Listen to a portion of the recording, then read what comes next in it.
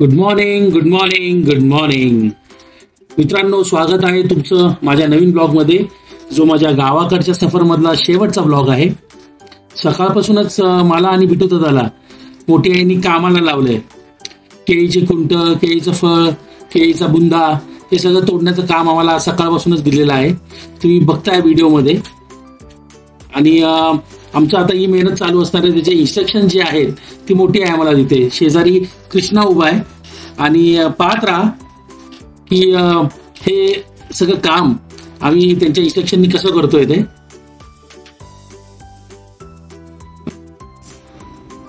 ही इलायची जातीची केळी आहेत आणि फारच गोड फळ असतं याचं. फारच पौष्टिक असतात. तर आपण बघू शकता. झाडाच्या बुंद्यांवर गाव घालायचं काम आहे. दिसायला सोपं असलं तरी फार कठीण काम असतं. कारण तुम्हाला सतत एकाच ठिकाणी गाव घालायचा असतो. बुंद्याच्या आतमधला भाग जो आहे तो कोवळा आणि सफेद आहे.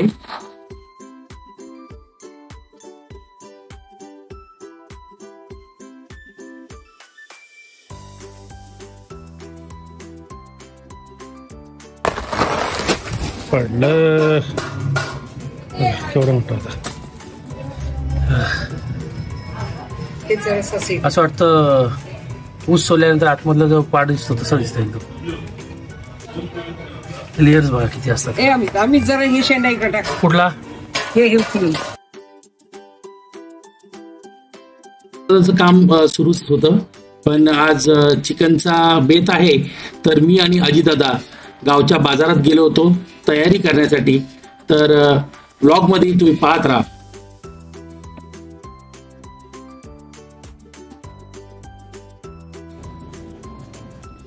आता आपण आलो आहोत गावाकडच्या पार्टे ब्रदर्स या प्रसिद्ध किराणा मालाच्या दुकानामध्ये.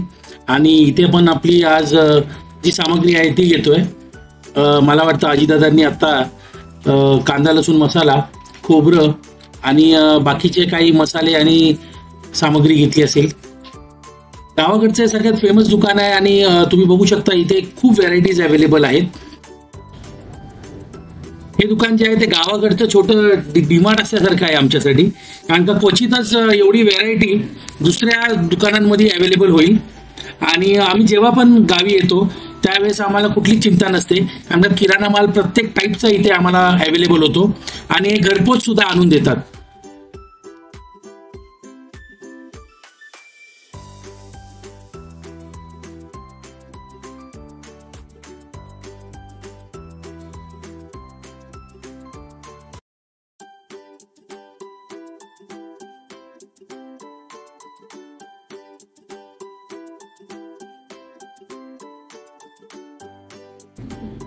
या दुकानातली आमची खरेदी संपलेली आहे आणि आता आमचा मोर्चा वळतोय.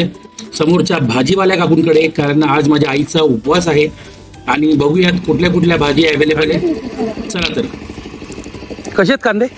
असे. हा डबल पाचचा तो वीस रुपये. तो पंधरा मिळेल पाचचा लागतो फक्त. फक्त काय सुके आहेत का? आणि वर्षभर राहतो तो? आठवडा. तसे नाही. वाळवला लागतो. हे किती किलो घ्यायचे? व्हिडिओ काढतोय. का? व्हिडिओ? हो ते युट्यूबला टाकतो ना मी.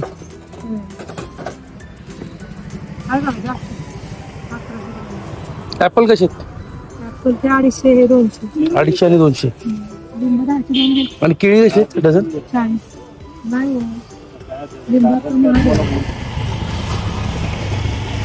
तर गावाकडचे आणि शहराकडचे रेट सेमच झालेत नाही आता कसं नाही माल बाहेर आणावा लागतो ना. इथून येतच नाही काय द्राक्ष नाही इकडे. मुंबईला हे द्राक्ष नाही आहे स्वस्त. अच्छा. हे इथले पिंपोडचे. अच्छा. हे कुठं स्वस्त मिळणार आहे तुम्हाला सोनं? आहे द्राक्ष लावतात? हा. बंद झाले अवले माणसाला नुकसान झाले तीन हा वर्ष- पावसामुळे झालं असेल नुकसान. पावसानं तीन वर्ष झालं सातच द्यायला झाला पाऊस. त्यामुळे महागाई आहे. केळीचं बघितलं ना केळी सत्तर ऐंशी वर गेली हो. इथं चाळीस सत्तर ऐंशी वर आहे. पुण्यामध्ये पण सत्तर ऐंशी रुपये आमच्या आहेत ना नऊ जण आहेत. त्यांना आम्ही भाजीपाला पाठवतो महाकाली मग काय? एक एक किलो नसेल. आणि कोथंबीर? स्वस्त आहे दहा रुपये. दहा रुपये बरं आहे. यंदा स्वस्त आहे नाहीतर हीच पिंडी दरवर्षी पन्नास पण चाळीसला यंदा लय स्वस्त आहे. यंदा स्वस्त आहे. दहा रुपये काहीच नाही. घरी आल्यावर लगेचच आम्ही ग्रामीण रुग्णालय सोमर्डी येथे आमच्या मोठ्या आईला घेऊन गेलो कारण का त्यांचा उजवा हात दुखत होता. तर त्या निमित्ताने झालेली ही ग्रामीण रुग्णालयाची सफर.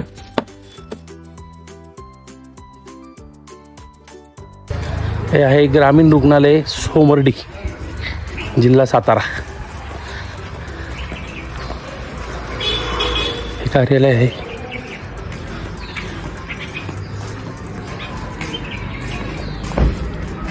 हे शेजारी क्वार्टर्स आहेत. रुग्णालयाच्या.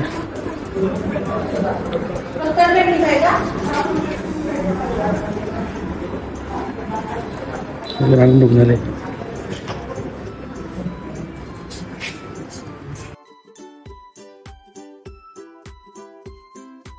या रूममध्ये केस पेपर बनवले जातात आणि केस पेपर बनवल्यानंतरच तुम्ही डॉक्टरची भेट घेऊ शकता.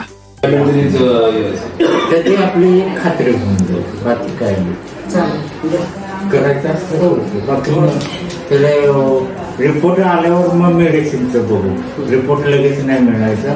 उद्या किंवा परवा मिळेल. मग बघू मेडिसिन का देऊन ठेवू ते काय पेन केलेलं नाही त्यापेक्षा मग ऑलरेडी काय? काय? गोळ्या चालू आहेत ना कुठले हाताचं जास्त दुखते का पायाचं जास्त दुखते हे पाय दुखतोय दुखतोय. त्याच्या आहे मेडिसिन चालू आहे का? नाही. माझी पेन किलर दुखायला लागले हे की ती गोळी खायची.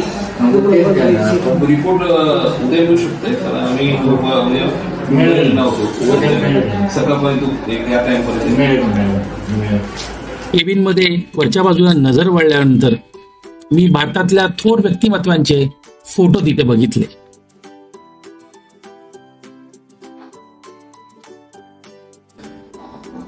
एक्सरे रूमकडे जात असताना आमची डावीकडे नजर वळली आणि वॉर्ड बघितला. वॉर्ड बघितल्यावर मी थक्क झालो. कारण ज्या पद्धतीची तिथे सफाई होती आणि टापटीपणा होता त्यासाठी नक्कीच मी गावाकडच्या या रुग्णालयाला शंभर पैकी शंभर मार्क दिली आपण बघूयात ही एक्सरे रूम आहे आणि एक्स रे रूम मधलं हे मॉनिटर केबिन आहे.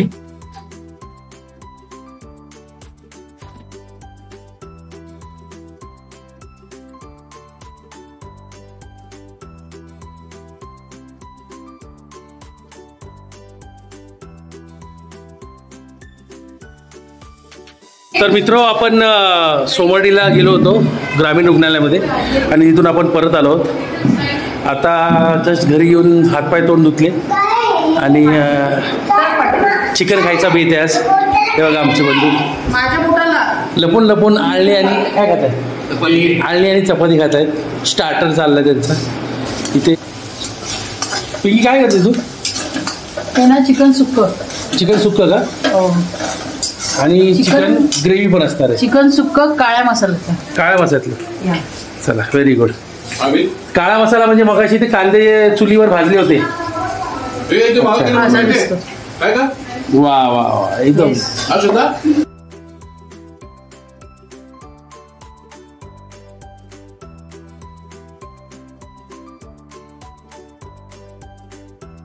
चिकन टाकलेलं आहे कढईमध्ये.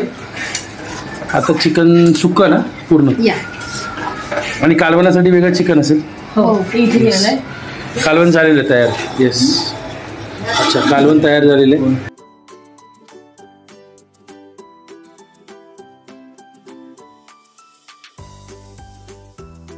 चिकन सोबत खाण्यासाठी आजीदादाने कांदे कापले आणि पिंकीने दही कांद्याची कोशिंबीर बनवली ज्यांनी जेवणाची लज्जत अजूनच वाढली. पुढचं काय करतोय?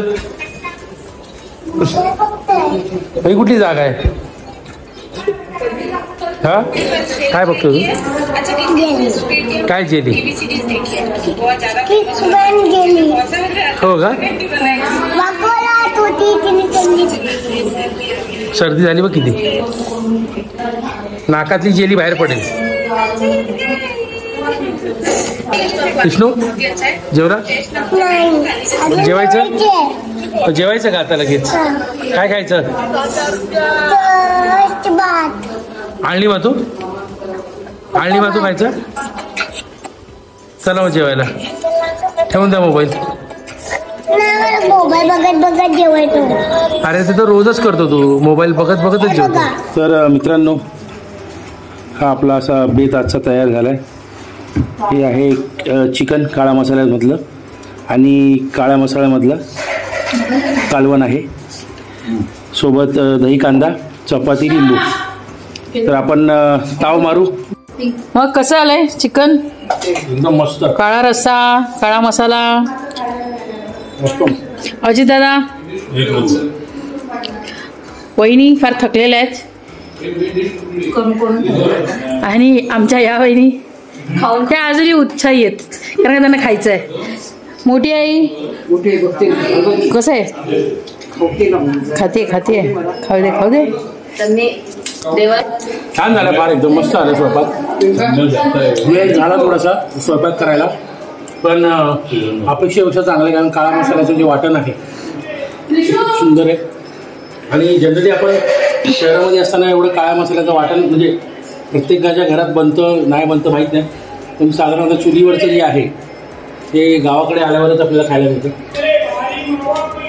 आता आमची ही जी फॅमिली आहे मुंबईला राहतात कांदिवली तर ते इथे आल्यानंतर चुलीवरच प्रिफर करतात जेवण बनवणं. इव्हन पाणी तापवणं सुद्धा जे तुम्ही सकाळी बघितलं असेल. छान झाले गो बाई अगदी मस्त आहे. आवडलं ना?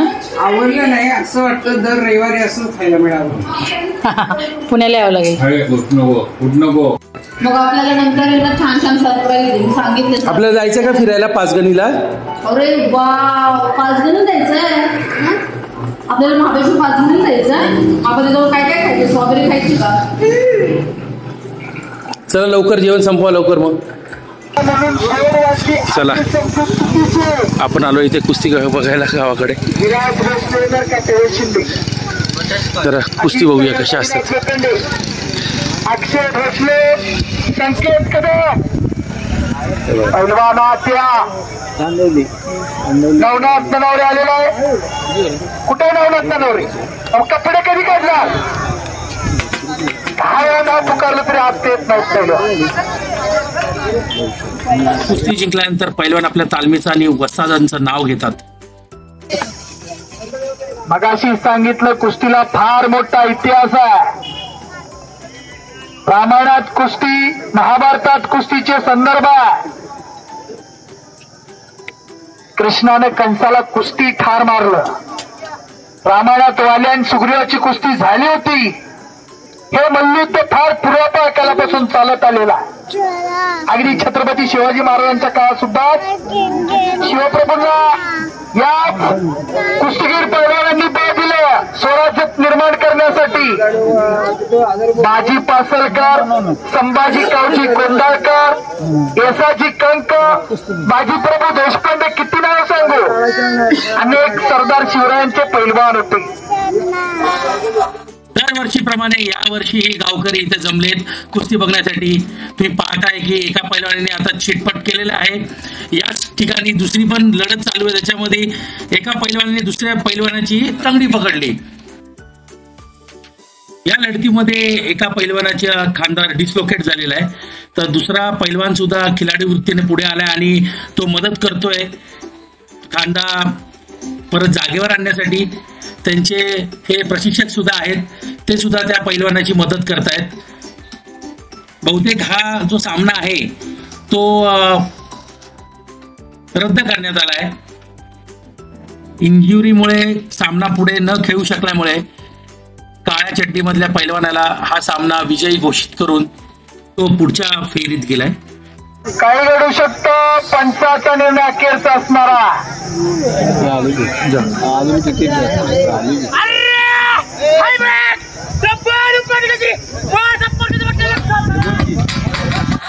गावाकडच्या क्रीडा स्पर्धांमध्ये हलगी वादनामुळे उत्साहाचं वातावरण तयार होतं.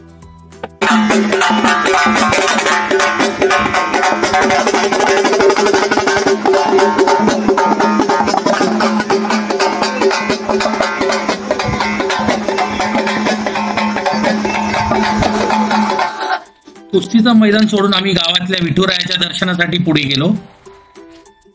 खूपच छान खूपच मोठा बंगला बांधलाय त्यांनी.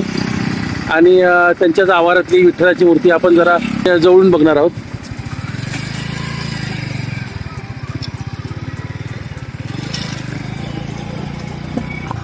अख्ख्या महाराष्ट्राचं आराध्य दैवत आमची विठू माऊली यांची बारा फूट उंच असलेली प्रतिमा इथे आमच्या गावातले प्रसिद्ध उद्योगपती यांनी त्यांच्या घराच्या आवारामध्ये स्थापित केलेली आहे. ही विलक्षण मूर्ती रस्त्यावरून दिसते. त्यामुळे गावकरी भक्तिभावाने नतमस्तक होऊन आपापल्या घरी जातात. तर मित्र माझं गाव जत्रा गावचं घर जेवण प्रमुख आकर्षणे हे बघायला तुम्हाला आवडलं असेल तर नक्कीच माझा ब्लॉग लाईक करा शेअर करा सबस्क्राईब करा आणि कमेंट बॉक्समध्ये लिहायला विसरू नका. धन्यवाद.